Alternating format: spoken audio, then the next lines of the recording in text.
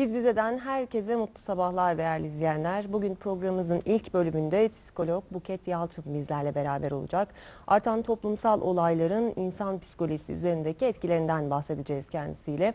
İkinci bölümde ise Ebru ve minyatür sanatçısı Suna Koçal bizlerle beraber olacak. Ebru ve minyatür sanatından konuşacağız. Ama önce Zinde Kal gelsin ekranlarınıza ardından sohbetimize başlıyoruz.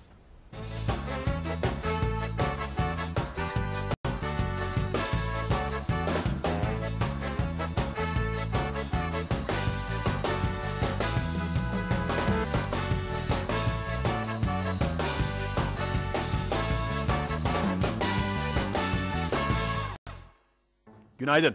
Günaydın. Bugün sizlerle karın çalışmamız var. Ama karın çalışmasını yaparken tabii ki küçük top kullanacağız. Ama her zamanki gibi ısınıyoruz. Derin nefes aldık. Ve nefes verdik.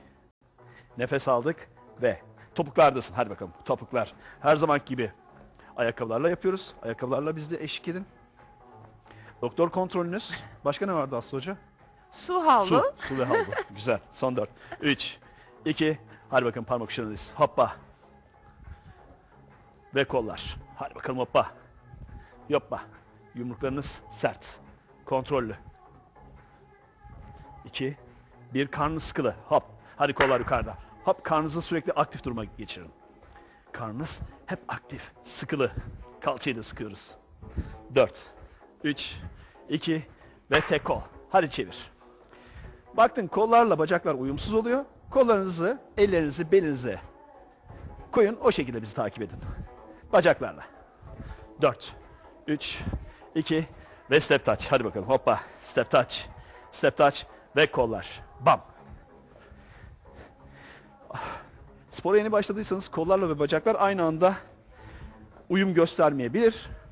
Ellerinizi belinize takıp devam edebilirsiniz. Biraz önceki uyarının aynısı. Hoppa. 4, 3. Farklı bir uyarı yapacağımı zannettin değil mi Aslı Hoca? Yok. İki. Belimize taktık ellerimizi. O Taktın güzel mı? oldu. Güzel hadi. O zaman arka bacak çalışalım. Son 4. 3, 2, hadi bacakları kaldır. Hop 1, 2, 3, 4, 5. Biraz daha. Hadi bakalım önde diz çek. Biraz daha aktif. Dizlerde problem varsa sıçramana gerek yok. Alternatif egzersizleri Aslı Hoca zaten gösterecek. Ama ileri seviye ise orta seviye sporcu ve ileri seviye sporcuysan dizlerini biraz daha çek. Düzenli spor yapıyorsan biraz daha dizlerini çek. Dizlerde problem yoksa çek ve yavaşça koşalım mı? Ufak. Ve yerinde kal, marşa kal. Huh. Küçük bir ısınmayla vücut ısımızı arttırdık. Ardından bir ge- gerilme egzersizlerini yapalım. Kaslarımızın boyunu uzatalım. Egzersizi hazır hale getirelim. Hop işte. Bravo. Hadi derin nefes aldın. Ve nefes verdin. Ve nefes aldın. Ve sırt üstü hemen yatıyoruz dediğim gibi. Evinizde eğer topunuz yoksa e, sıkıntı yok. Topsuz da yapabilirsiniz. Ama biz bugün topu tercih ettik. Bir bakalım böyle nasıl oluyor karın çalışmaları. Topu neden kullanıyoruz? Boynunda probleminiz varsa, belinizde probleminiz varsa top karın çalışmalarında size yardımcı olacaktır ve o yardımı Aslı Hoca size gösterecek. Tamam? Gözünüz Aslı Hoca'da ve bende olsun. Toplar şimdilik bacaklarınızın arasına iç bacak kas gruplarımızı aktif duruma geçirmek için eller başının arkasında ve yukarı. Uf, nefes ver. 2. Topu sıkıştırabildiğin kadar sıkıştır. İç bacakların aktif. Güzel. Devam. 5. Dirseklerin açık. 3. Ve mümkün olduğu kadar karnına doğru bakmaya çalış. Topa bakmaya çalış. Son 4. 3. Bravo. 2. Şimdi yavaşça dönüşler yap. 1. Yavaş. 2. Güzel. 3. İsterseniz havluyla da yapabilirsiniz bunu. Havluyu başın arkasına yaslayıp o şekilde devam edebilirsin. Hop. Havlunun uçlarından tuttunuz. Havluyu başınızın arkasına desteklediniz. Destek alacak şekilde yapabilirsiniz. 3. Bravo. 2. Hop. 1 yukarı kal. Tekrar. 1. Biraz daha ben ileri seviyesini göstereyim. Kolların önde olabilir. Aslı hocam alternatifleri gösteriyor zaten. Ellerin başın arkasında yapabilir. Ya da sadece yukarıda bekleyebilir. Evet aynen öyle son dört. Ben hareketime devam ediyorum. Aslı hocam durdu ama zannetmeyin ki çalışmıyor. Çalışıyor mu Aslı hocam? Çalışıyor. Çok aktif. Çok aktif olsun. Çok aktif. 3, 2, kal yukarıda. Uhu! Teşekkürler. Küçük vuruşlar yapıyoruz. Küçük vuruşlar yaptık. Güzel gidiyor. Evet top elimizde. Şimdi yan karın kaslarınız için farklı bir egzersiz. Bunu topla da yapabilirsiniz, topsuz da yapabilirsiniz. Topu yana koydunuz. Bir eline de başın arkasına. Hop. Bir. Yana. İki. Bravo. Üç. Karşıya doğru itiyoruz topu. Dört. Hu. Beş. Bravo. Nefes vermeyi ihmal etmiyoruz ha. Altı. Yedi. Ve kal. Yana doğru dön. Topuğunu gör. Topuğunu gör. Görmüyorsan topuğunu biraz dışarı çıkar. Bas bir, iki, üç. Sadece bekleme yapabiliriz. Aslı Hoca gösteriyor şimdi. Sadece bekleme yapabilirsin. Yukarıda kalabilirsin. Üst vücudunu kaldır ve orada bekle yeter. Ben de biraz bekliyorum. Teşekkürler. Uh, süper. Evet topu değiştirelim. Daha doğrusu yönünü değiştirdik. Eller başın arkasında hemen karşıya doğru bak şimdilik.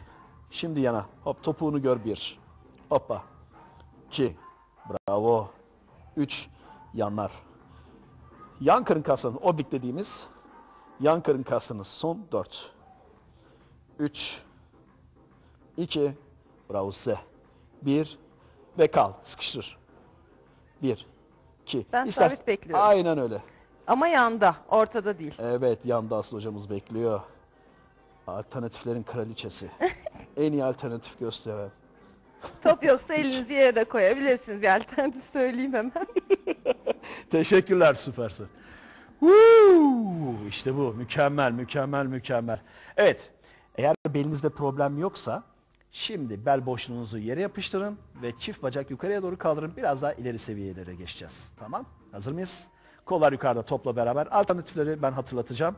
Hazır omuzlarınız yukarıda şimdi. Karşıya doğru bakıyorsun. Alternatiflerde Aslı hocamız sağ ya da sol bacağını yere indirdi. Tek bacak yukarıda, tek bacak yerde devam ediyor. Hop bas. Bir, beraber. İki, beraber. Üç, beraber. Dört, ileri seviye. Bir, hoppa. İleri seviye. İki, bir ve sadece yukarıda bekle. Bacak değiştirebilirsin Aslı hocam. Süper. Bekle. Topu sıkıştır. Teşekkür ederim. Bizim pilateste kullandığımız e, bir hareketimiz var. 100 pilates egzersizlerinin Network'ün ilk hareketidir. Onu gösterelim isterseniz Aslı Hocam ama alternatifleriyle göstereceğiz. Ben bacaklarımın arasına aldım. Hazır. Omuzlarınız yukarıda. Bel boşluğunuzu yere yapıştırdınız. Çift bacak yukarıda. Omuzlar yukarıda. Aslı Hocam alternatifleri gösterdi. Bas. Bas.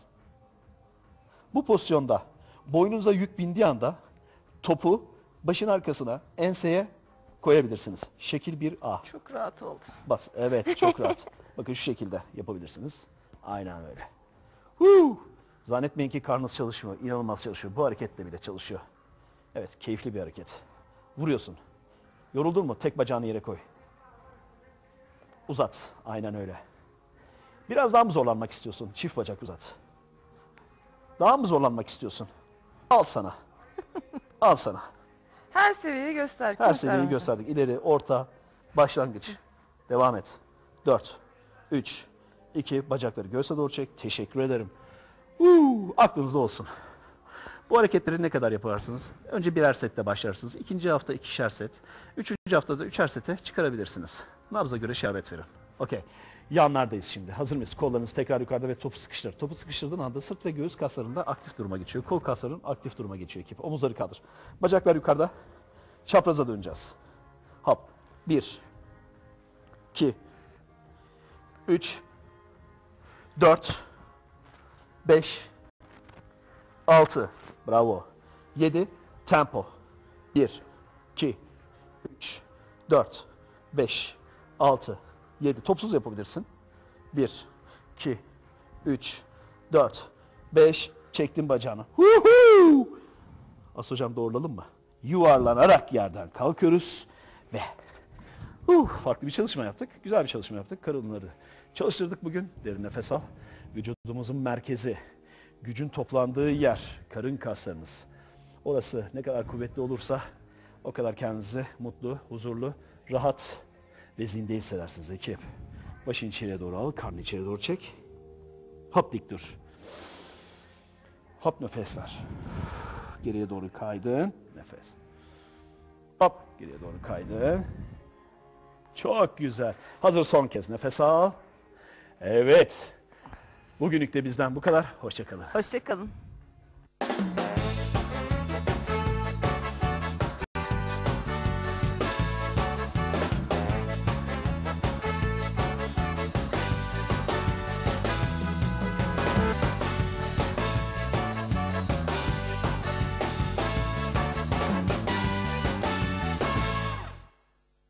Evet değerli izleyenler programımızın bu bölümünde e, son zamanlarda yaşanan e, terör olaylarının toplum üzerindeki etkilerini konuşacağız. Konuğumuz psikolog Sayın Buket Yalçın. Hoş geldiniz Buket Hanım. Hoş bulduk, merhabalar. E, son zamanlarda yaşanan e, olaylardan hepimiz çok etkilendik biliyorsunuz. Geriye e, büyük üzüntüler kaldı. Bu üzüntülerle e, nasıl çık- başa çıkılabilir? Bu dönem nasıl daha m, kolay atlatılabilir diye sormak istiyorum öncelikle size. Hı hı. Şimdi öncelikle tabii ki ben de dahil olmak üzere her birimizin çok etkilendiği bir süreçten geçiyoruz. Çünkü e, artık her şey yakınımızda oluyor. 5 dakika önce geçtiğimiz yerde oluyor. Belki 10 dakika sonra gidecek plan yaptığımız yerde oluyor. Ve her birimiz artık e, belki de şans eseri yaşadığımızı hissettiğimiz bir dönemden geçiyoruz. E, artık biliyorsunuz sosyal medyada da e, uygulamalar bile değişmeye başladı. Çünkü artık gündemimiz çok farklı. E, hayatta olduğumuzu, e, özellikle hani ye- yeni yaşanan olay adına konuşuyorum. Ankara'da olanların hayatta olduğunu bildirmeleri istemi doğmaya başladı. Çünkü her birimiz yakınlarımız adına ve e, kendi arkadaşlarımız adına endişelenmeye başladık. Evet. Ve doğal olarak da belki hayatta olduğumuzdan utanır bir halde iyi olduğumuzu bildirmeye başladık son dönemde. Evet. E, ve yakından etkileniyoruz tabii ki her birimiz bu süreçten. Evet. Hı hı. E, bu süreci daha kolay atlatabilmek Hı hı. e, ne önerirsiniz kişilere? Hı hı. Birebir Ee, maruz kalmış olanlara Hı hı. ya da e, bir şekilde Bizim gibi hani, olan evet, evet. Hı hı. Şimdi haklısınız o konuda çünkü maruz kalmak e, tek başına yeterli değil. Yeterliden öte e, tek maruz kalan insanlar etkilenmiyor aslında bu süreçten. İkincil travmalar dediğimiz yani duyarak, görerek, belki sadece yakınından geçiyor olup belli belirsiz bir ses duyarak da bunlara şahit ve tanık olmaya başladık Kesinlikle. artık. Ve e, her birimizin tabii ki travmaya ve e, bu tarz korku dolu olaylara verdiği tepkiler birbirinden çok farklı. evet. E, kimimiz yok sayarak baş etmeye çalışıyoruz. Kimimiz e, çok fazlasıyla araştırarak işte ya da hayatımızı soyutlamaya başlayarak kalabalık yerlere gitmeyerek, evimizden çıkmamaya çalışarak vesaire bir şekilde baş etmeyi deniyoruz ama belki de en güzel baş etme yöntemi bu acıyı bizimle birlikte yaşayan bir toplum var. Kalabalık bir güruh halinde yaşıyoruz artık bu süreci. Belki konuşmak, duygularımızı anlatmak, ne hissettiğimizi, kaygılarımızı, korkularımızı birbirimizle paylaşmak evet. belki de yapabileceğimiz en iyi korunma yöntemi. Çünkü diğer hani kendimizi soyutlayacağımız, hayattan e, belki bir cam fanus içine e, girmek zorunda kalacağımız bir hayat mümkün değil. evet. Doğal olarak e, bu sürece artık alıştık, biraz kanıksadık. Bu süreç biz biraz Hı da hı. güvensizliğe itiyor mu acaba Hı hı. sizce? Daha mı içimize kapanıyoruz, Hı hı. iletişimimiz kesiliyor acaba? Şöyle, e, şimdi adil dünya inancı diye bir inancımız var hepimizin. Yani aslında kendimizi koruyan bir şey bu. Bu nedir? E, iyi şeyler iyi insanların, kötü şeyler kötü insanların başına gelir gibi. Aslında biraz da bencil bir yaklaşım belki ama böylelikle kendimizin bir şekilde korunacağını ve güvenli bir dünyada yaşadığımız varsayımına dayanarak. Yani hiçbirimiz evimizden çıkarken o gün evimizi yerinde bulamayacağımız düşüncesiyle yola çıkmıyoruz. Ya da e, işte ben buradan çıktığımda işime gidene kadar başıma bir şey geleceği inancıyla tabii ki yaşamıyorum. Evet. Ama dediğiniz gibi biraz daha kaygılı, biraz daha belki ürkek, biraz daha beklemede. e, artık küçük sesler bile bizi korkutmaya Kesinlikle, başladı. Kesinlikle. Belki e, bir havai fişek sesi bile hepimizde eyvah yine mi bir şey oldu algısı yaratmaya başladı. Ve belki daha depresif, daha mutsuz e, Evet. bireyler ve çocuklar ortaya çıkmaya başladı aslında. Evet, hatta paranoyak olma durumuna doğru da Hı gidiyor, hı. gidiyoruz Çok- diyebilir miyiz? Çok haklısınız. Çünkü e, tam bir şeylere alışırken, tam bir şeyleri sindirirken, tamam bunu atlattık, yaralarımızı sarmaya başladık, e, birçok e, travma birimleri devreye girdi, insanlara yardım edilmeye başladı derken yepyeni bir olay. Ama e, siz de fark edersiniz artık biraz daha normalleşmeye başladı ne yazık ki. Yani yine bir olay yaşandı Çok diyoruz. kanıksamaya başladık değil Çok mi? kanıksamaya başladık. Yani haberleri seyrederken yeni bir haber alıp yemek yemeye devam ediyoruz ve yarın için plan yapıyoruz. Bu normal mi sizce? Nasıl değerlendiriyorsunuz? Ee, normal kısmı tabii ki tartışılır ama ne yazık ki başka türlü baş edemiyoruz artık. Evet. Çünkü e, ne oluyor? Ankara'daki patlama haberini alıp yarın e, şu işin varın planını yapar haldeyiz. Çünkü hepimiz hayatta kalacağımıza inanmak istiyoruz. Yakınlarımızın hayatta kalacağına inanmak istiyoruz. Aksi bir yaklaşım zaten çok tehlikeli. İnanamazsak herhalde yaşayamayız değil mi? Devam edemeyiz diye düşünüyorum. Çünkü e, dediğiniz gibi o paranoid bir toplum belki ortaya çıkmaya başladı yavaş yavaş. Ama en azından e, yaşanan olayların toplumun en azından küçük bir bölümüne e, zarar verdiğini hep aklımızda tutarsak. Yani sanki her an tehlikedeymiş gibi yaşamamaya çalışarak e, ve bunları bir talihsizlik, şanssızlık ve bir süreç olarak hani bitmesi gereken ve bitecek bir süreç olarak değerlendirerek belki kendimizi rahatlatabiliriz. Aksi halde hayat artık tatsız, e, yaşanmaz ve tehlike dolu bir yere dönüşmeye başlıyor. Evet. Biraz da yaz sürecinden bahsedelim istiyorum. Hı hı. E, bu yaz süreci kişilerin psikolojilerine göre değişiyor mu acaba? Şöyle, şimdi yaş grubuna göre çok değişiyor tabii ki. Çocuklar, ergenler ve yetişkinler tabii ki bu süreci çok farklı anlamlandırıyorlar. Ee, çocuklara baktığımızda e, yaş gruplarına göre olayı anlamlandırma süreçleri bile çok farklı. Örneğin 5 yaş altındaki çocuklar henüz ölümü bile e, kalıcı bir şey olarak algılayamıyorlar. Yani örneğin onlar yaşam döngüsü gibi algılıyorlar ölümü. Nedir yaşam döngüsü? Uyandık, yemeğimizi yedik, e, işte okula gittik, çizgi film seyrettik, uyuduk, tekrar uyandık. Ölüm de bunun gibi. Yaşadık, öldük, yaşadık, öldük. Öleceğiz, tekrar yaşayacağız gibi bir döngüsel bir süreç olarak algılıyorlar. Evet. Doğal olarak 5 yaşından sonra aslında ölümün ve bu tarz toplumsal yaşantıların belki geri dönülmez şeyler olduğunu artık 6-7 yaşından sonra belki 10 yaşından sonra daha net soyut bir şekilde anlamaya başlıyor çocuklar. Ve doğal olarak yetişkinliğe doğru gidildiğinde e, bizim anlamlandırma sizin ve benim ve bizim yaşımızdaki bizden büyük insanların anlamlandırma süreci tabii ki çok daha acı verici. Evet. Çok daha e, yaz sürecinde ilk tepkilerimiz şoktur mesela. Yani önce ne olduğunu anlayamayız. Evreleri var mıdır? Yasın evreleri vardır. Ee, tabii ki herkes aynı sırada yaşamaz Hı hı. ama genel olarak bu aşamalardan geçtiğimiz varsayımına e, dayanır bu süreçler. İlk evre e, insan ilk duyduğunda bir ölümü, bir kaybı, bir tacizi ya da bir toplumsal bir e, felaketi duyduğunda bir deprem, bir sel ilk tepkimiz tabii ki şok. E, ne olduğunu anlamlandıramadığımız bir süreç. Evet. Sonrasında belki kişisine göre, baş etme süreçlerine göre belki bir inkar evresi olabiliyor. Yani yok saydığı, hayatına devam ettiği, örneğin bir çocuğun hadi okula gidelim, hani biraz önce babasını kaybettiği bilgisi verildikten sonra hadi o zaman oyun oynamaya gidelim dediği bir üzerini kapatma süreci belki. Suçluluk evresi olabiliyor travma yaz sonrasında. Evet. Yani ben bunu yapmasaydım, oradan geçmeseydim, arkadaşım o gün bana çağırsaydım, bana gelseydi. Hı hı. Ee, bana demişti zaten işte bugün e, atıyorum Kızılay'a gitmek istemiyordum. Keşke ona gitme deseydim gibi bir suçlanma evresi yetişkinlerde. Evet. Ee, sonrasında da yavaş yavaş bir içe dönme. O başta söylediğiniz o depresyon, içe çekilme, üzüntü ve keder hali ortaya çıkmaya başlıyor. Kabullenme mi başlıyor? Sonrasında da eğer güçlüysek, eğer gerçekten baş etme mekanizmalarımız, e, sosyal desteğimiz ve geçmiş e, belki psikolojik yapımız buna müsaitse sağlıklı bir kabul başlıyor tabii ki Evet. her yaz sonrasında.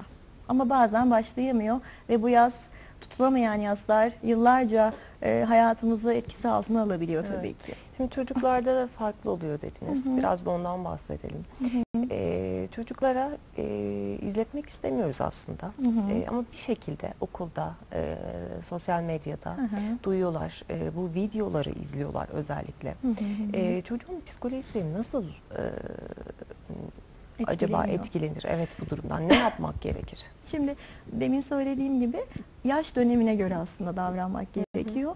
Ee, örneğin çok küçük yaşlardaki çocuklar e, evet bir şey olduğunu anlıyorlar. Ama ne olduğunu çok fazla anlamlandıramayabiliyorlar. Ee, biraz daha büyüdükçe yaş artık internete ulaşılabilirliği arttıkça, arkadaşlarıyla konuşma, okuldaki sohbetler arttıkça, hele ergenlik döneminde artık devreye bir de siyasi görüşler, kişisel görüşler, hayata bakış açıları devreye girmeye başladığında tabii ki olayın şekli çok değişmeye başlıyor ama temel prensip şu diye düşünüyorum. Önce aileden duymalı çocuklar. Nasıl anlatılmalı peki bu tür durumlar? Ee, şimdi bir kere açık ve net olmakta.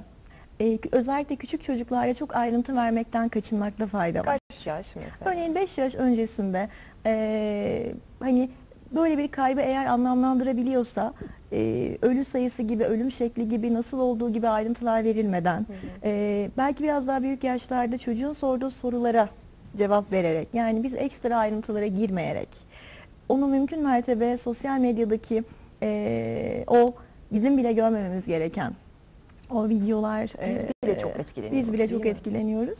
Belki korunaklı bir e, internet ortamında yani o biliyorsunuz filtre sistemleri bunlardan geçirilmiş bir e, sistemde korumaya çalışarak en azından ama sorularını mutlaka yanıtlayarak e, yanıtsız bırakmayarak ve eğer bizim endişe ettiğimizde fark ediyorlarsa anne baba olarak bunu da saklamayarak. Çünkü e, bu sessizlik döngüsünün kırılması gerekiyor aslına bakarsak. Çünkü e, çocuk eğer anne babadan yanıt alamazsa ya da anneciğim sen nasıl hissediyorsun diye sorduğunda e, anne ben iyiyim hiçbir şey yok gibi bu örtük bir e, maskelemeyle bunu dışarıya yansıtıyorsa o zaman çocuk da duygularını saklaması gerektiği yani öfkeni, Belki daha büyük bir üzüntünü- endişe yaşayabilir mi acaba? Aynen öyle. Hem daha büyük bir endişe. Demek ki çok kötü bir şey oluyor. Demek ki annem bile duygularını saklamaya çalışıyor ki ben onun endişelendiğini anladım aslında. Evet.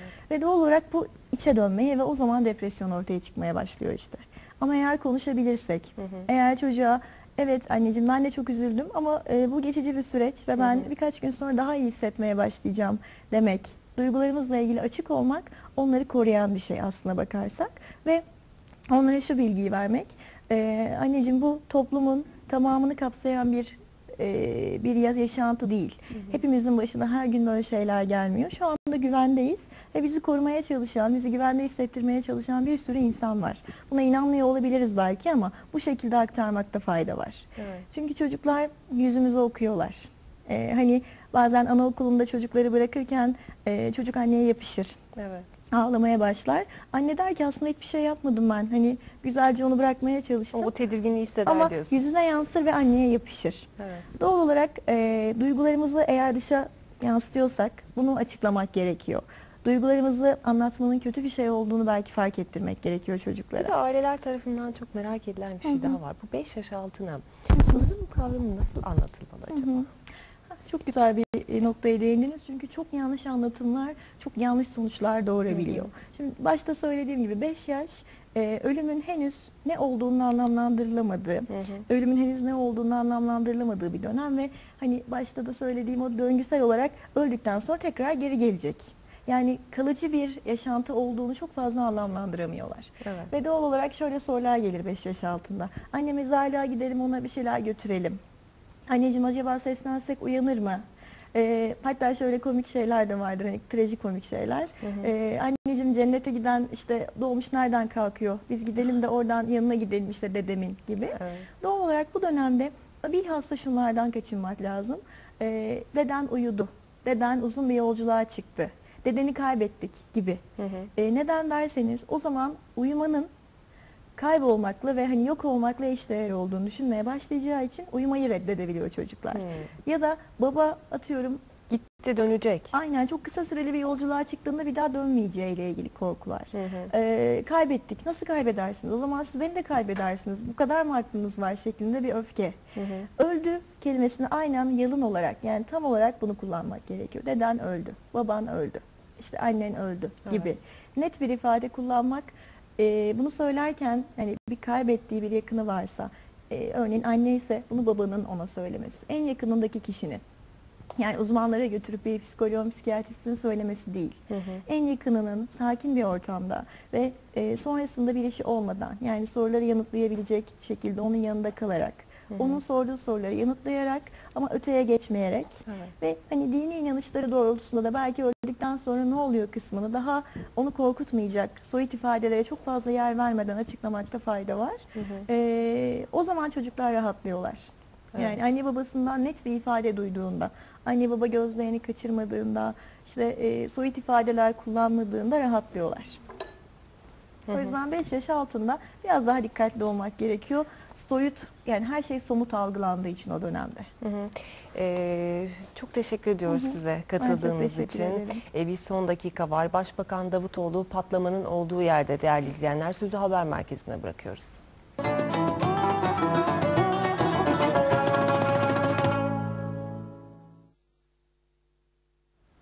Değerli izleyenler programımızın ikinci bölümünde e, Ebru ve minyatür sanatçısı Sayın Suna Koçal'la beraberiz. Hoş geldiniz Suna Hanım. Hoş bulduk. Nasılsınız? Çok teşekkür ederim. E, Biraz sizi tanıyabilir miyiz? Evet ben Türk süsleme sanatlarından minyatür tesip Ebru birçok branştan eğitim aldım. Sizin için Yalova'nın sanat meleği diyorlarmış. Yani iltifat etmişler. Ee, çok kıymetli bir büyüğümüz bu ilk defa e, Kemal Sallı bir gazeteci. E, bu lakabı bana e, vermişti. Evet. E, diğerleri de sevdi herhalde. E, hep kullanılır oldu. ne kadar güzel. Kültür Bakanlığı'na bağlı Ebru Yetmenliği ve Kültür Bakanlığı'nın sanatçısıyım. Yurt içi yurt dışı görevlendirmelerle ve şeylerle bu şekilde görevimi devam Yurt dışında da temsil ediyorsunuz bizi. Evet, Çok birçok güzel ülkede. eserleriniz var. Buraya da taşımışsınız. Teşekkür ediyoruz. Bunlardan biraz bahsedebilir miyiz? Bu minyatür galiba. Evet, minyatür sanatı. Bu arkası işte Boğaz Köprüsü ve ön- önde e, Ortaköy Camii, İbetullah Camii, arkada çeşmesiyle beraber işte Boğaz'ın bir kesiti olmuş oluyor. E, gece manzarasında. Çok E, güzel. Minyatür sanatımız biliyorsunuz geleneksel Türk süsleme sanatlarından. Evet. E, çok eski bir sanat. E, bir eserin çıkması e, bayağı bir uzun sürüyor, birkaç ay sürüyor çünkü. Ne kadar da Tasarımlar mesela bu eseriniz? Yani 3-4 ay mutlaka e, bir ön hazırlığı gerektiriyor. Boyaması hariç çünkü hani gidip mekanın fotoğraflarını çekmek, birebir hangi mevsimde hangi bitkiler var, hangi kuşlar var. E, yani çünkü bir e, belgesel niteliğini taşıdığından dolayı Evet. doğru yapmak durumunda olduğumuz için e, onun Çok için ön hazırlıkla evet ön hazırlıkları çok uzun sürüyor. E, arşivleme e, çok önemli bu konularda. Onun Evet. için e, sonrasındaki boya aşamaları tabii ki onlar en kıymetli, en e, değerli, incelik isteyen ve aylar süren bir çalışma. Yani en erken bir 4, 5, 6 ay sürüyor bir Evet. çalışma. Arkanızda iki tane eser var. Onlar da çok güzel.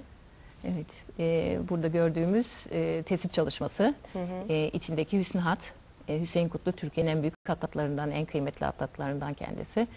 E, Ziza suresi var orada. Hı hı. E, deprem zamanı yaptığım bir çalışma o depremden sonra. Evet. Zor günler tabii biliyorsunuz Yalova'da. Evet. Allah bir daha hiçbir yere göstermesin öyle İnşallah, zor günlerimizi. inşallah. E, demişlerdi hani deprem kargaşasını oraya yaşattınız diye Hı hı. gösterdiniz diye ama Hı hı. e, renklerin canlılığından iç dünyamın çok fazla kararmadığını Çok e, demişti olmuş. hocamız ve içine dedi deprem duasını e, Zilzal suresini e, yazarım diye içinde bu Zilzal suresi var. Yanındaki çalışma da çok güzel bir çalışma. Tonları da harika. E, o da e, tesip çalışması. hı. Kardelen çiçeği biliyorsunuz ilk açan e, karın çiçeği e, ilk baharın temsilcisini. Evet.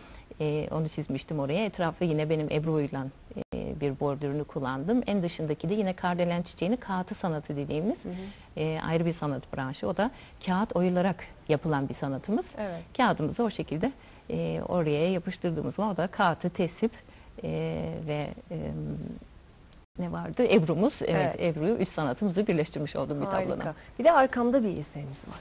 Evet. Evet, bu O da, da, çok güzel. yine e, Ebru Ebru, evet zemin Ebru benim Ebru çalışmamın üzerine yine Hüseyin Kutlu hocamızın e, su her şeye hayat verir yazıyor orada Hı hı. eski e, harflerle E, ve yanında e, minyatür var. Bu minyatürde İstanbul fethedildikten sonra yapılan ilk Türk çeşme. Evet. E, onun özelliği var. E, tabii bilinmiyordu bu çeşme. Hı hı. E, sonra keşfedildi bu çeşmenin varlığı. Onarıldı. E, Öyle mi? günümüze kazandırıldı. Ay ne kadar güzel. Evet. Ee, Ebru sanatı galiba e, minyatöre göre biraz daha e, yapımı kolay. Süresi daha e, az zaman alan değil mi bir çalışma? Yani görünürde öyle Hı hı. Ee, ama en az bir 3 sene eğitim almanız gerekiyor kendi kendinize Ebru'yu yapabilmeniz için. evet, sıkı Benim hazırladığım evet benim hazırladığım boyalarla ve kitre e, bu malzemeleri size hazırladığım zaman size çabuk sonuç verdirecek gibi görünüyor. Tabii Evet. daha e, bu ayarlar bittikten sonra bu malzemelerin hazırlanması hepsi doğal malzemeler hepsi e, ellen hazırladığımız fırçalarımız atkılı e, gül dalı Evet. e, doğal toprak boyaları bunların hazırlanması, ezilmesi, kıvam haline gelmesi bir, e, bir aya yakın bir e, ön hazırlık gerektiriyor. Bunların hepsini hazırlıktan sonra şimdi Ebru yapayım diyemiyorsunuz. Hani yine birkaç saat öncesinde, birkaç gün öncesinden kitremizin hazırlanması. Ama herhalde yapımı e, öğrendikten sonra Hı hı. minyatüre göre çünkü minyatüre baktığımda böyle daha Evet. küçük, daha minik Evet, minik. evet. adı Yani üzerinde. Ebru sanatının bir e, şöyle bir güzelliği var. Hı hı. Şimdi bizim bütün sanatlarımızda her şeyin tek olma yani aslında yaradan dünyada her şeyi tek yarattığının her bir şeyde aslında delili var ama Evet. e, Ebru sanatını bunu çok daha güzel bir şekilde görebiliyoruz. Bir yaptığınızı bir daha daha göremiyorsunuz. Ne kadar aynı renkleri kullanmaya çalışsanız, aynı Hepsi şeyleri yapmaya farklı oluyor. birbirinden farklı oluyor. Dolayısıyla hani bir güzellik de anında dediğiniz gibi o an e, ön hazırlık aşamalarını saymasak bile e, o an çıkması insanları çok hayrete düşürüyor. Evet. E, çok güzellikler e, gösteriyor. Selçuklu ve öncesinde bizim Türk sanatımız, öz Türk sanatımız bunu hep terapi aracı olarak Şimdi onu söyleyecektim. Ebru'nun bir terapi özelliği de var Evet, değil mi? evet. Yani asırlar boyunca hep e, suyla, su üzerinde yapılan bir resim olduğu için Evet. suyun etkisinden dolayı zannediliyordu.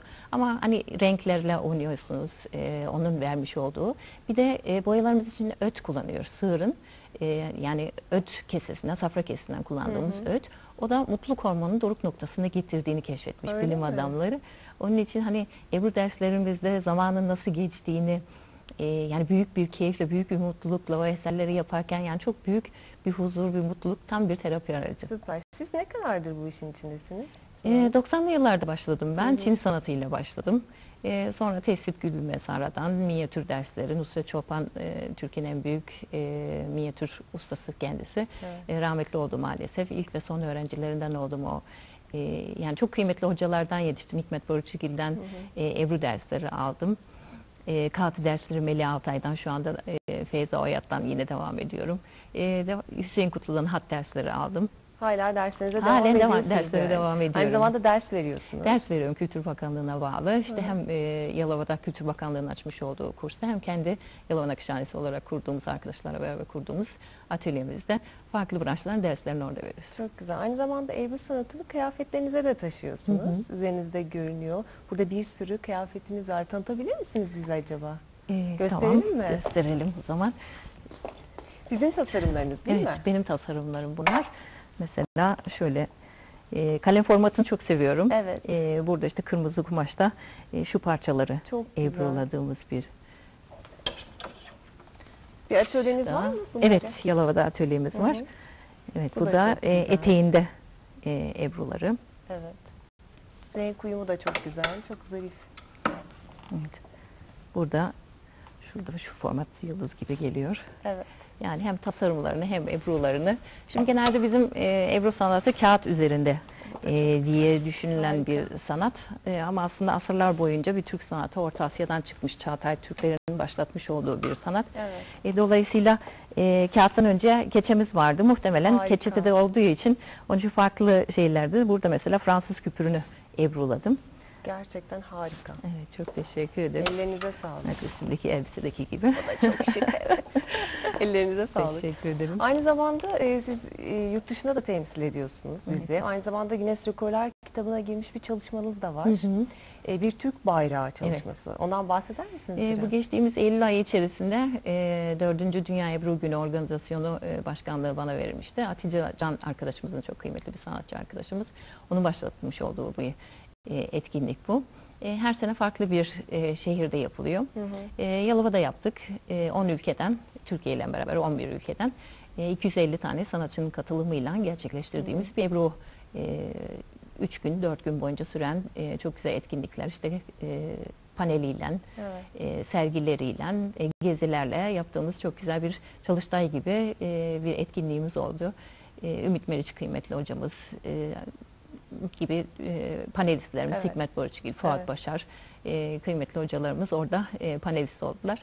E, çok keyifli geçti. Orada da işte dünya en Ekranlarda büyük da şimdi görüyoruz Hı hı. uygulamasını. Evet. 11 metrelik bir çalışmaymış Evet, galiba. su yüzeyinde yapılmış en büyük Türk bayrağı özelliğini taşıyor. Gerçekten muhteşem gözüküyor. Ee, ve Akkase iki özelliği var ve Akkase'de yapılmış Akkase tekniği dediğimiz Ebru bir teknik bu kalıplan şablon olarak hazırladığımız Hı hı. e, dünyanın en büyük Akkase Ebrusu özelliğini de taşıyor ve su yüzeyinde yapılmış en büyük Ebru e, minyatür e, bayrak özelliğini taşıyor. Ne kadar sürdü yapımı? Ee, yani birkaç saat onu yaptık çünkü bir Birkaç tek onu saatte. Türk bayrağını bir kere yaptık. Arkasından üç tane de Çintemani dediğimiz bir eski Türk deseni olan bir desenimizi de işte barışı temsil ettiği için konuyu barış ve sevgi olarak tema almıştık. Konularımızda panelde onu işledik sanat konu, Ebru konumuzun yanında. Ee, dolayısıyla e, bir saate yakın çok keyifli bütün e, sanatçı dostlarımızla beraber yaptığımız güzel bir çalışma oldu. Guinness Rekorlar kitabına girmiş oldu. Harika. Peki eserleriniz nerede sergileniyor Esin Hanım? Ee, Birçok müzede, e, özel koleksiyonlarda, işte Japonya Sanat Müzesi, Müzesi'nde, Tonami Pek çok Sanat eseriniz vardır herhalde. Yani işte mümkün olduğunca e, şey yapmaya çalışıyorum, eser üretmeye çalışıyorum. Hani bu Hı yoğun tempomuzun yanında eğitimler tabii ki birçok Seminerlerde veriyorsunuz galiba değil mi? Tabii üniversiteler davet ettikleri zaman Hı o üniversitelerde farklı e, kuruluşların sempozyumlarında hı. e, mesela bu önümüzdeki Mayıs ayında Dünya Ebru Organiz, e, Kongresi organize ediliyor. Hı hı. E, Hikmet Burçugil benim hocamın organizasyon başkanlığında, Ümraniye Belediyesi'nin sponsorluğunda e, güzel bir Ebru Kongresi, uluslararası bir Ebru, Ebru Kongresi. E, çok güzel faaliyetler. E, Sosyal sorumluluk projelerinde de yer alıyor musunuz? Almayı Evet, düşünüyor musunuz? Evet, e, mesela şu anda polisle beraber yürüttüğümüz bir projemiz var. Hı hı. Sokak çocuklarına yönelik. Orada işte e, bağımlı olan e, çocuklarımızı Ebru dersleri verme e, projesi var. Hı hı. İşte farklı ülkelerde veya Türkiye'de. Bahreyn'de de yine Hı hı. otizmli çocuklara Evet, ders vermişsiniz. En son işte Bahreyn e, Türk Büyükelçimiz Sayın Hatun Hanım e, beni Bahreyn'e davet etti. Benim için bir kişisel organize, sergi organize etti orada. Orada e, hem Kraliyet Üniversitesi'nde dersler verdim, Ebru sanatlarımızı tanıttım orada. E, hem de otistik e, çocukların, Down sendromlu çocukların e, okulu var. O okulda bilhassa ders vermek istedim. Hani nasıl, benim talebimin nasıl tepki üzerine. verdiler ben merak ediyorum. Nasıl ilgileri? Yani çocukların genelde zaten bütün çocukların tepkileri çok Hı hı, güzel oluyor. hı. Onların o e, yaptıkları o saf yürekleri ortaya çıkıyor. O anki sevinçleri, e, o hareketleri çok yani çok çok Görülmeye büyük değer mutluluk verici. gerek. Yani ben bundan çok büyük keyif alıyorum. Evet. Onun için mümkün olduğunca nereye gidiyorsam e, mutlaka hani içerisine bu tarz e, şeyleri, faaliyetleri koymalarını ben rica ediyorum. Hı hı. Sağ olsun kırmıyorlar. E, o şekilde e, çocukların tepkisini, gençlerimizin tepkisini Mutluluğunu Bilhassa o mutlu mutluluklarını görünce işte ister Down sendromumuz, ister otistik olsun, Evet. ister güzel normal çocuklarımız olsun. Evet. Ee, sevgi dolu yüreklerini, saf yüreklerini görmek beni çok mutlu ediyor. Değil mi? Aynı zamanda siz bir de belgesel çalışmanız varmış Hı hı. galiba. Özel bir üniversitenin kanalıyla yürüttüğünüz. Evet, o ne evet. zaman başladı? O da ulusal bir kanalda. Hı hı. Ee, yani senenin e, sonuna başladığımız bir proje. Bu genel bir sanat istemişlerdi, program istemişlerdi benden. Hı hı. Ee, genel sanatlarımız için çok e, böyle programlarımız var ama Türk süsleme sanatlarımız biraz unutulmaya yüz tutmuş olan bu sanatlarımız. Hı hı. Dolayısıyla e, TRT'nin bir belgeseli var o şekilde ama o da sanatlarımızı genelin nasıl yapılır? Boyalar nasıl ezilir? e, nasıl boyayla e, şey yapılır? Yani genel teknik özelliklerini anlatan bir sanat belgeseli. Ben istedim ki bu e, sanatın arka boyutu, tasavvuf boyutu, sufi boyutu, e, aşk boyutu anlatılsın diye Türk Süsleme Sanatları işte her bölümde farklı bir sanatımızı tanıtıyoruz. Farklı bir üstadımızla beraber tanıtıyoruz. Özel mekanlarında, atölyeleri de tanıtıyoruz. Çok güzel. Yani tamamıyla işin aşk boyutunu tanıtıyoruz. Sevgi boyutunu tanıtıyoruz. Programımızın da adı aşk olsun. Aa, çok güzel. Ee, peki yurt dışında bu sanatı e, nasıl anlatıyorsunuz oradaki insanlara? Nasıl tanıtıyorsunuz? E, heyecanlarını görmek çok büyük bir keyif. Yani orada e, bunu tanıtırken insanlar tezgahımızın başından veya sergimizin başından ayrılamıyor bile. Çünkü genelde Yoğun bir e, ilgi bir Avrupa o zaman. sanatları gibi bir yağlı boya değil. Yani bütün sanatlar zaten çok keyiflidir, çok kıymetlidir. E, ama e, bizim bu geleneksel sanatlarda daha bir e, felsefi boyutu var. Çünkü Hı hı. hani insan e, sanatçı kendi benliğini dışarıda bırakarak yaptığı daha çok bir sanat. Yani yaradanın yaratmış olduğu güzelliklerini gösterme, hani kendini benliğini çıkararak yaptığımız bir sanat olduğu için insanlar bunu bakarken daha çok kendini bulabiliyor, kendini görebiliyor, kendini yaşayabiliyor Hı hı. içinden. Çünkü kendinden bir parça var orada. Evet. Onun için e, en büyük keyfi Japonya'dayken almıştım. Öyle mi? Evet, e, oradaki kültürümüz bizim kendi Türk kültürümüze çok benziyor. E, ve insanların oradaki o hayret ifadeleri çok saygılılar zaten. Şey, e, sanata çok büyük devlet destek veriyor. Hı hı. Ve oradaki bir Ebru sanatını izlerken çıt yok öyle bir sessizlikle ve hayretle izliyorlar. Sonra yavaş yavaş desenler ortaya çıkmaya başlayınca aa uuu sesleri ve o Şaşkınlık. çok çok e, keyifli. Yani Japonya'da iki kere bu e, etkinlikleri, sergileri açtım. Çok büyük keyif alıyorum. Evet. Peki başka projeleriniz olacak mı bundan sonra? E, yani projelerimiz hep her zaman devam ediyor. Farklı bir sanata Evet. e, yönelme gibi bir şeyler olabilir mi acaba? E, yani sürekli bir e, arayış, sürekli. Çünkü bizim sanatlarımızın hepsi birbirine bağlı gibi görüyorum. Yani Hı hı. Çin sanatı, sanatıyla başlamıştım. Arkasından tesip, minyatür, Hı hı. e, kağıtı, e, ebru yani hepsi böyle sırayla birbirine e, getirdi. Çok Evet. büyük bir keyif, çok e, le- büyük bir lezzet. Çünkü birbirinin hepsi birbirine e, yan yana kullandığınız zaman bir tablo işte bir top, tablo da bunu e, farklı sanatlarımızı bütünleştirerek çalışmayı çok seviyorum. Mesela eskiden bir Ebru'da e, yalnızca e, lalenin düz formatıyla çalışılmış. İstanbul lalesi çok çalışılmamış. Biliyorsunuz e, e, lalenin ana vatanı Türk e, Evet. o, o şekilde Türkiye'den dünyaya yayıldı yani Türk topraklarından diyelim. Ee, ve e, İstanbul lalesi dediğimiz bu lale çok ince uzun bir e, yaprakları olan, taş yaprakları olan çok zarif bir çiçek. Boyu kendisi aslında çok uzun değildir. Çok zarif, çok ince. Şimdi günümüzde tabii Hollanda hepsi e, oynamış e, genleriyle. Dolayısıyla hani lale dediğimiz kalın saplı, kalın e, çiçekli, taş biliyoruz. yapraklı biliniyor. Evet. E, dolayısıyla bu lalenin nasıl ince bizim Öztürk e, orijinal ilk haliyle nasıl çalışabilirim diye çalışmaları başlayıp e, in- eski İstanbul lalesi mesela çok e, ilk çalışanlardanım. E, çok büyük bir keyifle onu çalışıyorum. E, işte farklı sanatlara gelince şu anda e, kaligrafi derslerine başladım. Öyle mi? Yani yeni kendi atölyemde farklı bir hocamız, Yalova'dan bir hocamız geliyor. E, yani sürekli yenilikler içerisinde Ne kadar devam güzel. ettiriyorum. Peki sizce bizim sanatımızın batı sanatlarından farkı ne? Ne gözlemliyorsunuz? Evet. Yani demin dediğim gibi yani Batı sanatlarında çok şey var. Yani kendi birey olarak sanatçı kendini ortaya koyması. Ee, Bizim sanatlarımızda o daha uzak. Dolayısıyla yani insan daha kendini onda bulabiliyor. Yani yaradanı bulabiliyor. Çevredeki hani doğal güzellikleri, onun izlerini bulabiliyor. En büyük farkı da o bence. Farkındalığımız mı artıyor acaba? Evet, evet. Değil mi? Yani bir de bizim bu geleneksel sanatları Cumhuriyet dönemine kadar e, bu son dönemlerde e, ölmüş olan bir sanatımızdı. Evet. E, son 10 senedir, 15 senedir çok güzel bir şekilde bir uyanış var. Çok güzel e, kurumlar, belediyeler çok güzel destekler veriyor bizim bu İlgi nasıl peki?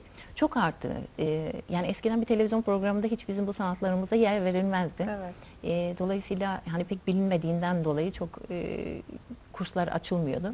Şimdi ilgi tabii gittikçe arttığı için yani bizim mesela Yalova'daki kurslarımız iki sene bekleme sırası oluyor maalesef. Hani kültür evet 60-70 Bayağı yoğun kişi yazılıyor her sene. Ee, biz de tabii ancak 20 kişi alabiliyorum. Normalde aslında bir kurs 12-13 kişiyle olması gerekiyor ama hani bu kadar beklemesinler diye Evet. 20 kişiyle başladığımız kurslar. Yaş ortalaması kaç? E, tabii 18 yaş üstü genelde alıyoruz ama e, her sene e, bizim kimsesizler yurdundan bir öğrenci, iki öğrenci talebinde bulunuyorum. Oradan bir iki kişinin de e, gelmesini özellikle istiyorum. E, dolayısıyla oradan da gençlerimizi derslerimizi alıyorum. Evet. E, yani e, bizim dönem içerisinde mutlaka öğrencilerimizi bu kimsesizler yurduna götürüyorum. Çok E, orada çocuklarla beraber Ebru yapıyoruz. Ve orada o çocuklarla yaptığımız Ebru'da yine demin dediğim gibi onların güzelliklerini, onun ruh hallerini. Çünkü Ebru sanatında o sanattaki e, kendilerini verdikleri zaman o kadar büyük bir sevinçleri çıkıyor ki ortaya. Evet. Çünkü bir şey yapmış olmanın mutluluğu. E, ve demin dediğim gibi yani o doğanın bütün bütün yani çünkü bütün malzemelerimiz doğal olduğu için Evet. ee, öğrencilerimi de oraya bilhassa götürüyorum. Yani onlara da yaşasınlar istiyorum. Ve bakarsınız hani bir tanesi bir gönüllü anne olma fikri doğar Değil içine mi? diye. Neden olmasın? evet, evet. Bu peki şık kıyafetleriniz bir yerde e, satışa sunuluyor mu? Yani ben e, genel olarak sanatlarımın hepsini yani bir satış- satışa yönelik veya işte Ebru e, eğitimi e, kurslarımın ücretli e, olması çok düşük fiyatlarla ben o kursları veriyorum. Hı hı. İstanbul'dakiler bana kızıyorlar hani bu kadar Öyle düşük mi? fiyatla Ebru dersleri verilir mi diye. E, ben daha çok hani gönülden bu işi yaptığım için hani satışa yönelik e, yapmıyorum. Yapmıyorsunuz. E, yani ileride belki bir e, bir modacı bunun takibi, bunun e, defilesi, bunun bir şeysini isterse diye e, sanatlarımızı tanıtma adı adı altında e, öyle bir şey de e, seve seve yer, almak isterim. evet. Evet. Bu minyatür e, sanatı sanki böyle biraz daha mı e, çaba isteyen, Çok. biraz daha mı sanki yetenek isteyen bir iş? Ee, yani aslında yetenek hepsinde istiyor. Şimdi e, yıllar boyunca benim tabii bu sanatların içerisinde olup da e, keşfettiğim bir şey var ve söz haline getirdiğim her şeyin başı aşk, sonra sabır, sonra yetenek çok gelir. güzel. E, yeteneğiniz vardır, sabrınız yoktur, bırakırsınız. Evet. Sabrınız vardır, e, aşkınız yoktur, yine bırakırsınız. Onun için aşk illaki aşk dediğim böyle bir söz haline getirdiğim. Aslında bu yalnızca bizim sanatlarımızın e, için geçerli değil, hayatımızın her noktası için Kesinlikle geçerli. Yani her öyle. şeyin başı aşk.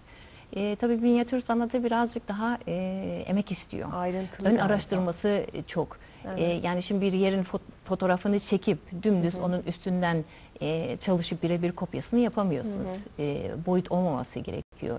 e, fazla kuralları var. Onun için hem o kuralları bilmek hem e, mekanın doğruluğunu hem güzel kompozisyon bilgisi e, yani fırçanızın yeteneğinizin haricinde birçok özelliği e, olmasından dolayı bir de e, ayları gerektiren bir çalışma. Sabırı iyicene orada şey yapmış oluyorsunuz, ortaya koymuş oluyorsunuz. Onun için e, en zor sanat dallarımızdan bir tanesi Hüsnü Hat. E, o da çok uzun bir eğitim istiyor.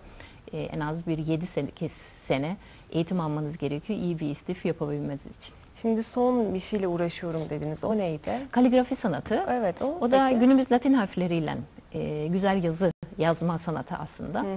E, o da e, kamış kalemle veya e, metal uçlu yaptığımız bir şey. O da e, ebruların üzerine güzel işte Mevlana sözleriyle günümüzün güzel sözleriyle birleşince o da çok keyifli oluyor. Peki farklı yerlerde, farklı şehirlerde e, kurs açmayı düşünüyor musunuz? Var mı öyle bir Yani planınız? internet üzerinden, internet ortamından birkaç kişi benden e, uzaktan eğitim almayı istedi. Evet. E, birkaç kere o şekilde başladık. E, tabii imkansızlıklardan dolayı o şekilde e, yapmak e, mecburen hani günümüzün getirmiş olduğu hızdan dolayı e, yani o şekilde bir kabul gördüm yani ben de hani olabilir diye düşündüm. Çünkü aslında yani en doğrusu bir hocanın eteğinin dibinden eğitim almak. Çünkü yalnızca bu sanatların genel yapısı şöyledir, böyledir, şu malzemeler vesairenin haricinde o hocanın almış, hocadan almış olduğunuz o edep, onun vermiş olduğu bu kültür çok farklı. E, dolayısıyla yani o e- eğitimden bir hocanın eşliğinde geçmek Uzaktan çok daha değil de- keyifli. Evet, çok daha önemli ve değerli diye düşünüyorum. Ama olmazsa olmaz diye de değil tabii ki. E, beraberinde imkansızlıklardan dolayı yani uzak bir ülkede hiçbir sanatımızdan bizim bu olmayan mecburen o zaman ucundan bunu vermek. İşte en son mesela şimdi Bahreyn'de e, üniversitede e, rektör bana şey dedi buraya gelip e, bir yıl boyunca iki yıl boyunca burada yaşar mısınız dedi. Bizim eğitmenliğimize yapar mısınız Ha, dedi. çok güzel. E, tabii çok zor. E, benim bir sürü faaliyetlerimden e, Evet. Yalova'yı bırakıp e, gitmem. Ama size böyle bir teklif gelmiş olması çok güzel olsa gerek. Ha, ama şimdi şu şekilde bir projemiz var. Ayda bir bir hafta sonu e, gidip o şekilde orada ders verme. Şimdi onun hazırlık aşamaları var. Sunu Hanım programımıza katıldığınız için çok teşekkür ediyoruz. Ben Programımızın teşekkür ederim. sonuna geldik. Ee, size başarılar diliyoruz. Çok sağ olun. Çok teşekkür ederim. Teşekkürler. Evet değerli izleyenler programımızın sonuna geldik. Ee, biz size Satranç Müzesi görüntüleriyle veda edeceğiz. Pazartesi günü saat 10'da beraber olmak dileğiyle. Sağlıklı mutlu kalın. Hoşçakalın.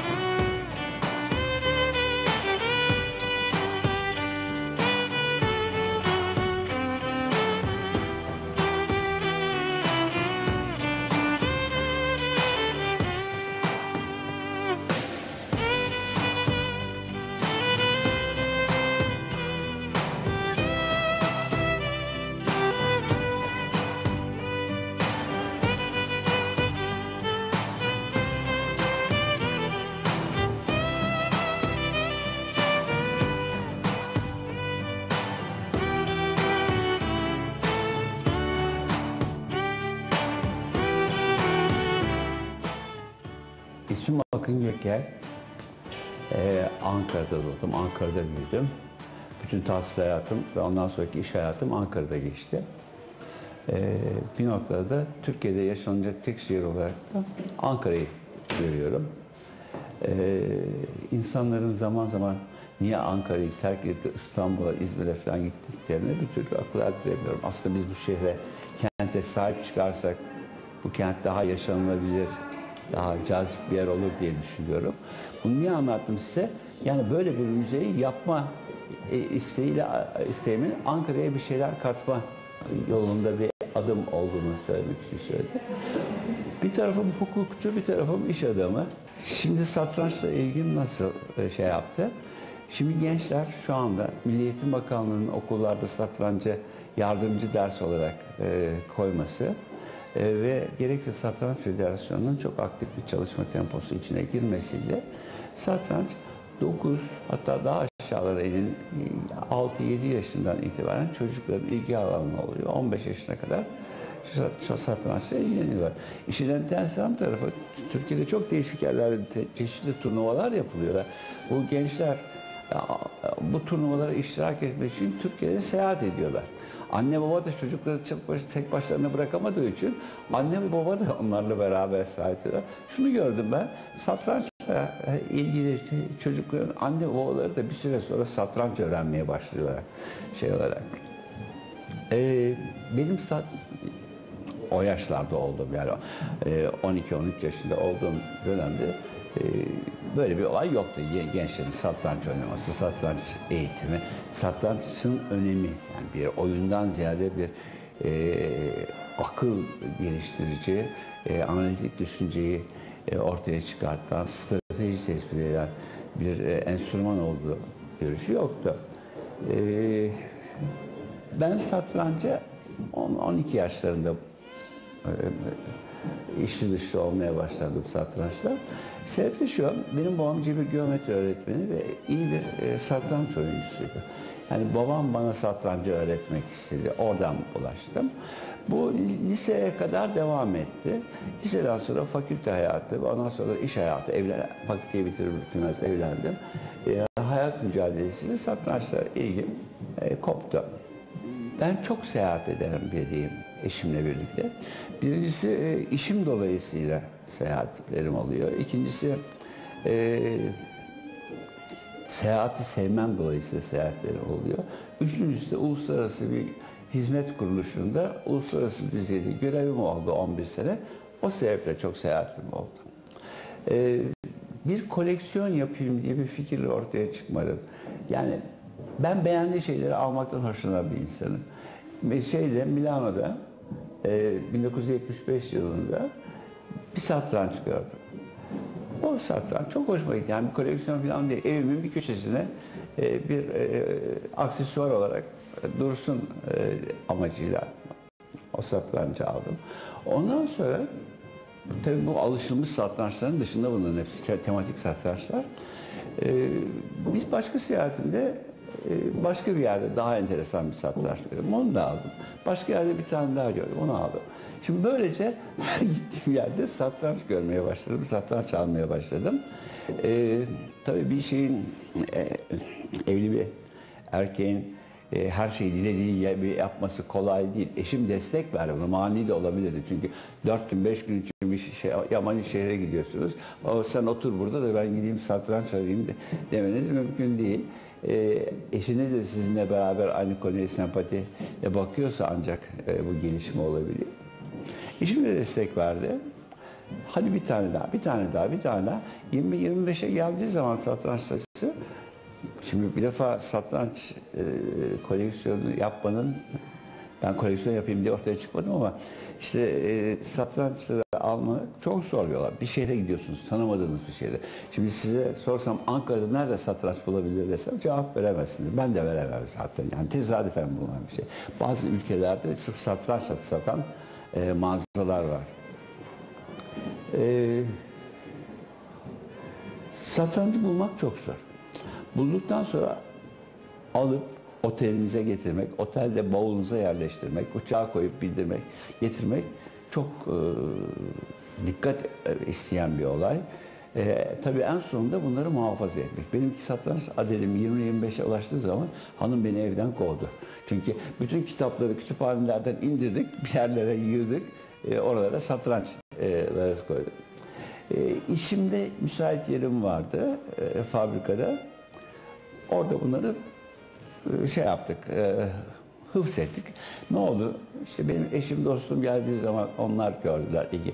Çünkü satranç e, koleksiyonu dediğiniz zaman kimseyi ilgilendirmiyor başta konuyu bilmeyen bir insanı.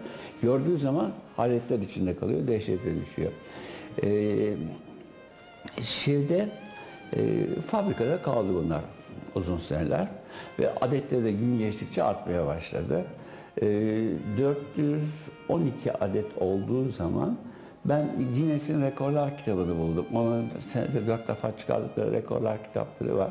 Onları karıştırırken baktım abuk sabuk şeyleri de oraya rekor olarak kaydetmişler. Oturdum mektup yazdım onlara. Acaba dedim benim şu kadar satrancım var. Bu satrançla müracaat etsem yine Rekorlar kitabında yer alabilir miyim? E alabilirsiniz dedim, müracaat edin, inceleyelim dediler. E, müracaat ettim ve Ekim 2011'de e, bu başvuruyu yaptım. E, Ocak 2012'de Guinness bunu e, dünyanın en büyük satranç koleksiyonu olarak e, kayıtlarına aldı. Ama benim e, alma arzum bitmedi. Sabire seyahat ettikçe gördüğüm değişik satrançları e, almaya devam ettim. E, hatta öyle oldu ki ben bazen e, bunlar fabrikada dururken bunların arasından geçerek ben odama gidiyordum. Benim odamın önünde bir salon vardı. O salondan oraya. Aa bu satrançlar var mıymış demeye başladım. Yani o kadar adet çoğaldı ve şey oldu ki. Ve bunun neticesinde bazen aldığım satrançları yeniden almışım. Fark etmemişim. Şimdi bir defa Türkiye'den artık satranç almıyorum. Çünkü Türkiye'de alacağım e, bir satranç kalmadı. E, Daha çok yurt dışından e, aldığım satrançlar oluyor. Ve gene mükerrer satrançlar, olan satrançlardan almaya devam ediyorum ne kadar dikkat etsem. E, laptopuma bütün bunların resimlerini yüklendim. Tereddüt olduğu zaman açıp bakıyorum ama gene de yanıldığım oluyor. Alıyorum. E, şimdi şu anda 547'ye ulaştı satranç adedi e, burada. E, Ondan sonra e, eşimle konuştuk bu olayı. Yani bunları bir fabrikanın bir salonunda e, kapayıp dizip bırakmanın bir manası yok. E, bunları topluma e, mal etmek, topluma paylaşmak doğru olur diye düşündük. Ondan sonra bir vakıf kurdum. Satrançları vakfa bağışladım. Ondan sonra e, ya ben göçüp gittikten sonra bu koleksiyonun dağılmasına gönlüm razı olmadı. Toplum e, çünkü çok ilgi çeken bir olay oldu toplumda bu. E, ben bile bu kadar bir ilgi e, uyandıracağını tahmin etmiyordum bu işin. Arkasından hani satrançları vakfa hediye ettik. Sonra ne olacak? E, yani bir gün fabrikada da kovalarlar beni belki şey yapınca. Ondan sonra şey de teşvik etti, eşim teşvik etti. Bunları dedi toplumla paylaşmam bir müzeye koymak lazım dedi. E, şimdi baktık burada hazır binaların hiçbiri satın almak üzere çıktığımız hazır binaların hiçbirinin iç yapısı bir müze olmaya müsait değil. Çünkü bu eski Ankara evleri bildiğiniz üzere ufak ufak odalardan oluşuyor. İki sene, bir buçuk sene yakın arsa aldık. Ben dedim arsa alayım burada. dedim. Biz bir buçuk sene arsa baktık. Buradaki arsalar da küçük küçük aslında. Dört parsel arsayı birleştirerek bu, bu müzenin yerini aldık. Sonra da işte paramız oldukça e, bu e, vakfa bağışlayıp vakıf adına e, bu binaları yaptık. Yani vakfın e, sağlam bir gayrimenkulü var. Ben gidersem de kimse sokağa atmayacak durumda değil satrançları. Toplumda çok ilgi uyandırdı. Açıldı, işte bir ay biraz geçti bizim buranın açılması. Daha duyulması da yine. Günde ortalama 90 civarında ziyaretçisi var ki bir müze için iyi bir ziyaretçi adedi. E, Daha e, şeylere, büyük şehirden alınıyor o izin. E, gerekli izin alıp yönlendirme levhalarını daha takamadık yani burada. Ancak basından duyanlar, televizyondan izleyenler şey yapabiliyor. Bilmiyorum yani çok ilgi çekiyor. Zaten satranç müzesi dünyada çok az. e, 15 civarında satranç müzesi var. Ben bunlardan 4 tanesini gördüm. E, diğerlerinde internetten bir şeyler bulmaya çalıştım. E, bu kadar büyük bir e, şeye ve olana sahip satranç müzesi hemen hemen yok gibi. Yani işte şu, şurası kadar bir şey var. Ve adet olarak da çok son derece fazla satranca sahip burası. E, ben e, Almanya'da bir müze gördüm. E, Rotterdam'da, Amsterdam'da bir müze gördüm. E, Mos- Moskova Müzesi'ni gördüm. Bir de British e, Museum'un e, sadece bir bölümünde işte 61 tane falan satranç var. Onlar da yapılmış bugün e, satranç dünyasında isim yapmış e, satrançlar e, ve onların ilk şeyleri, e, orijinal e, olanları. E, o- onun dışındaki satranç müzelerinde işte 300 civarında, 350 civarında satranç var şu anda. En başta aldığım ilk satranç e, bir şey, e, e, enteresan bir şey oldu. O satrancı almak için Milano'da 3 gün bekledim ben. E, hakikaten çok güzel bir tasarım ürünü. E, bir cuma günüydü.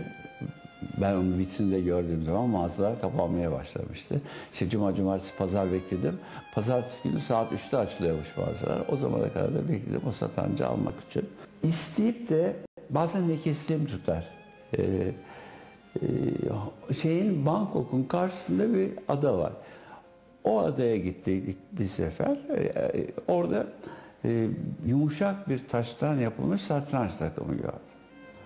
Eşim ısrar etti alalım diye. Yok ya ne yapacağız dedim. Ee, sonradan pişman olduğum bir olaydır o satrancı niye almadım diye. Ee, bir de bizde bir satranç var. Ee, İstiklal Harbi'ni anlatan bir satranç. Bir heykeltıraş tarafından yapılmış.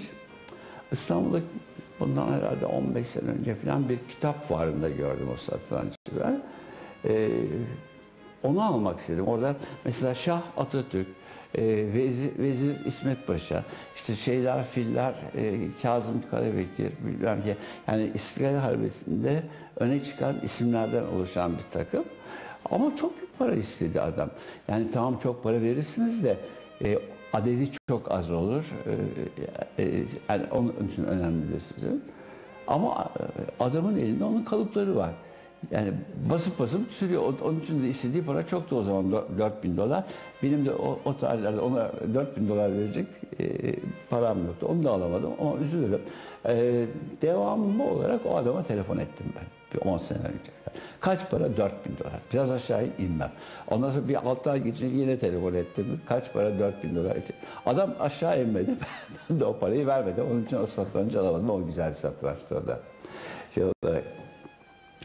Ee, tabii satranç şu bakımdan da enteresan. Bir defa satrancı e, iki tarafta iki takım var ve bunlar birbirleriyle mücadele ederek birbirlerinin e, şeylerine, taşlarına alıp karşı tarafı yenmek istiyorlar. Yani bir mücadele karşı. Ben bunu böyle görmüyorum. Şimdi e, benim şeyim şu, e, insanlar birbirlerini tanıdıkça, birbirlerini anlamaya başladıkça ilişkileri daha rahat olur. Ben sizi yolda gördüğüm zaman eğer sizin hakkında bir fikrim yoksa size e, tereddütlü bakar, tereddütlü yaklaşırım. Ancak sizi tanıdığım zaman sizle dostluk kurmam mümkün. E, dünya barışının esası da zaten insanların, ülkelerin birbirini daha yakından tanıması e, ve bu tanışıklığın geliştirerek dünya barış ve anlayışına hizmette bulunması. Bir defa en, her şeyden önce ben satrancın dünya barış ve anlayışına hizmet ettiğine inanıyorum. Düşünün iki tane lisan bilmeyen veya birbirinin lisanını bilmeyen insan oturuyorlar saatlerce bir e, şeyin e, satranç takımının etrafında satranç oynuyorlar. E, bu çok önemli bir şey. Bir defa dünya barışına katkı sağlayan bir oyun. İkincisi e, satranç e, bir akıl oyunu. E, yani bugün dünyada 7 8 9 hamle e, ötesini düşünen, düşünebilen, e, e, kafasında canlandırabilen e, şeyler var. E, satranç oyuncuları var. E, yani size analitik düşünceyi ve analitik düşünceye dayanarak strateji tespit etmeyi gösteriyor. Bu bence iş adamları için de çok önemli bir olay. Politikacılar için de güvenli olay. Politikacı çıkıyor, e, o anda aklına gelen bir olaya bir çözüm söylüyor. Bunu düşünmeden söylüyor bazı zaman. Ve sonra bunu toplamak için gerek o politikacı gerek onun partisi bir yeni çabaların içine giriyorlar. Bunu nasıl düzeltebiliriz diye. Halbuki biraz analitik düşünceli bir strateji te- tespit edip de onun üzerine gitseler e, bu tip olaylar olmayacak. Satranç ülkelerin kültürünü de anlatıyor. Mesela şurada bu Ukrayna'dan alınma bir satranç. Ee, yukarıdaki Çin'den alınma bir satranç, bu Portekiz'den alınma bir satranç. Ukrayna'nın köylüsülerinin giyim tarzını ortaya koyuyor bu. Ee, Öteki tarafta Çinlilerin giyimini ortaya koyuyor. Tarihi olayları görüyorsunuz. Mesela bir satranç var. Orada bir tarafta Saddam, öteki tarafta Bush ve onların yanında Usama Bin Laden işte bir, tarafın takımında, öteki tarafında Tony Blair bilmem falan. İki takımı koymuş böyle. O 11 Eylül kulelerini koymuş. Onu canlandırıyor. Çanakkale Savaşı ile ilgili bir şey var. Mesela orada bir Osmanlı tarafı var. İşte başında Atatürk'ün olduğu bir takım var. Karşıdaki takımda e, başında Churchill'in olduğu bir takım var. E, Böyle tarihi olayları da canlandıran şeyler var. Satrançları temalarına göre gruplaştırmaya çalıştık. Tam başarılı olduk mu olamadık. Hala devam ediyor. Bunu burada alalım, şuraya koyalım falan diye. E şimdi çocuklara yönelik satrançlar var. Şirinler var. E, Red Kit var. Bir de yani böyle ço- çocukların şirinler var. E, Bunun yanında bir de hayvanlardan oluşan satranç takımları var. O hayvanlardan oluşan satranç takımları da çocukların çok ilgisini çekiyor, şey yapıyor. Aslında tabii çocukların şimdi 5-6 yaşında çocuklar satrançla ilgilenmeye başlıyorlar. Yani seyretmenin ötesinde oynamaya başlıyorlar satrancı. Ee, ve tabii bu da aslında e, bizim e, geleceğimiz için bir teminat. Yani düşünmeyi öğrenen, e, hesaplı kitaplı hareket etmeyi öğrenen bir nesil yetişiyor ortada. E, bundan 3 ay falan önceydi. E, Satranç Federasyonu değişik kentlerde organizasyonlar yapıyor. Konya'da bir organizasyon vardı. O organizasyona davetler tabii orada 5-6 gün süren bir o- e, şey e, zaman dilimine sığıyor. E, hepsini şey yapım imkanı yok. Kapanış oturumuna gittim ben. Kapanış oturumunda derece alan çocuklar vardı. Şimdi kapanış oturumunda bir baktım. Mesela Bingöl, Bitlis, e, Tunceli, e, Mardin, o Şanlıurfa falan gibi terörün kol gezdiği e, o şeyden e, illerden gelen çocuklar pırıl pırıl böyle üniformalarını giymişler, gelmişler ve dereceye girmişler bunlar. Şöyle düşündüm, acaba dedim, imkanlar oradakiler Ankara, İstanbul, İzmir gibi büyük kentlerle şey yapamaz, e, karşılaştıramaz orada da çok daha az. E, ama çocuk yetişiyor, yetiştiği zaman da e, kendisini ilgilendiren zamanla e, e, değer verip harcayacağı bir takım e, şeyler yok e, elinde. E, ne yapıyor? Dağa çıkıyor. Terörist oluyor. Şimdi düşündüm acaba dedim bunlar 20 sene önce 25 sene önce biz orada satrancı okullara sokup e, satranç vasıtasıyla bu gençlere e, bir e, olanak sağlasaydık, doğru düşünmeyi, e, akli düşünmeyi sağlasaydık herhalde bunlar daha çıkıp terörist olmazlardı. Mesela hepsi de dereceye girdiler o çocukların şey olarak.